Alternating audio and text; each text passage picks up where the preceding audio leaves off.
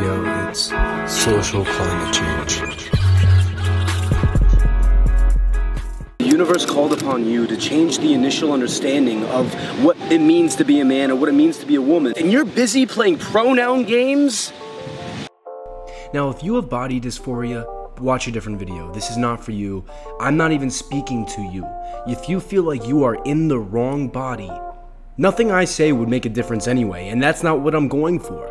No, I'm here to talk to the folks who actually don't even experience dysphoria, they just don't agree with the qualities associated with their given sex. Look, you're not trans just because you're very feminine and you're a man, or you're very masculine and you're a woman. No, it just means that you're different.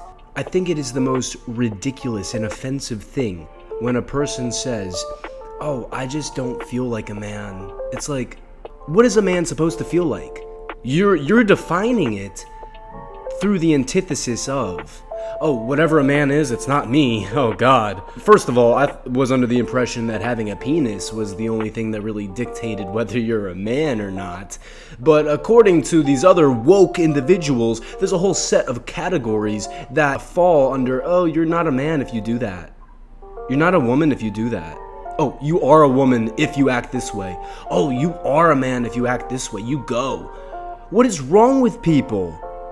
Literally. I think it's also ironic that for the first time, actually, correction, it's definitely not the first time that a man told a woman how she feels. Women, how are you not sick of it? A guy out of nowhere says, You know, I feel like a woman.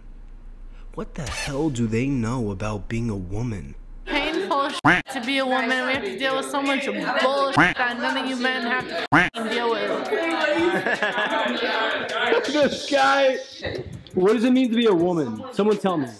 It means bleeding for seven years of your entire life. It means pushing another human being out of your vagina. It means having to get stitches from your vagina. All right, so if you don't have a kid, then you're not a woman. Is that what you're trying to say? No, um, just uh, maybe confidence. No, How do I think it's mostly just bleeding out of your vagina. What the hell does any person with a penis know about the opposite end of the fence? What do they know about having a vagina? What do they know about bleeding every damn month? What do they know about being ogled as you walk down the street? What do they know about being judged over your looks, whether you're pretty and ugly, and hold, have that hold all the value in the world over your success in this life? What do men ever experience that is close to that? I mean, it's just ridiculous. A lot of these allies aren't realizing that men just thought of a very covert way to stomp on other people's grounds.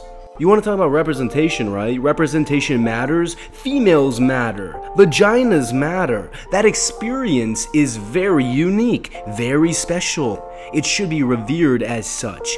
It's just ridiculous. If we're going on the representation train, people need to just stop trying to be a minority. Understand that everyone is different in their own unique way, and that is the reason why we're all the same. All these people are having identity crises and they're making it up in their head, and it's based on some false bullshit that doesn't need to matter anymore.